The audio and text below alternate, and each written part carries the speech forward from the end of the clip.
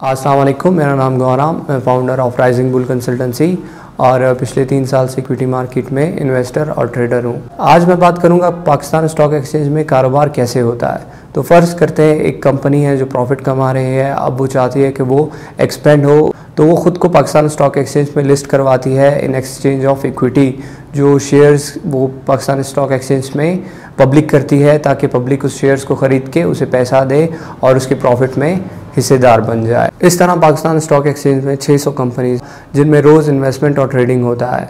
और अगर कंपनीज़ का परफॉर्मेंस अच्छा हो, उनका सेल्स अच्छा हो, उनका प्रोडक्ट अच्छे से बिक रहे हों तो उनका शेयर प्राइस इंक्रीज़ होता है। और अगर उनका परफॉर्मेंस अच्छा नहीं होता तो उनका प्रोडक्ट नहीं बिक रहा तो कंपनी का शेयर प्राइस नेगेटिव में जाना स्टार्ट हो जाता है।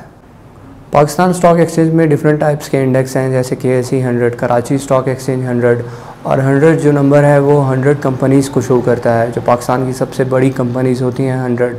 ये पाकिस्तान का सबसे इंपॉर्टेंट पाकिस्तान स्टॉक एक्सचेंज का सबसे इंपॉर्टेंट इंडेक्स है और सबसे बड़ा इंडेक्स है।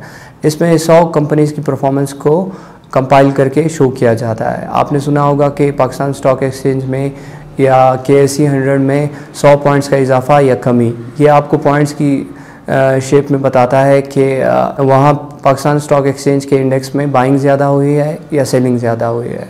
अगर बाइंग ज़्यादा हुई है तो उसका मतलब है कि 100 पॉइंट्स का इजाफा हुआ है और अगर सेलिंग ज़्यादा हुई है तो इसका मतलब 100 पॉइंट से कमी हुआ है। इस तरह पाकिस्तान स्टॉक एक्सचेंज के और भी इंडेक्स हैं जैसे कि K S C thirty K M I thirty K M I all K S C all और वो सब पाकिस्तान की 600 कंपनीज़ का डाटा कंपाइल करके आपको शो करते हैं। उम्मीद करता हूँ ये वीडियो भी आपको पसंद आया होगा। मज़ीद इस तरह का वीडियोस के लिए लाइक शेयर और सब्सक्राइब करें। थैंक यू सो मच अल्लाह हाफिज़।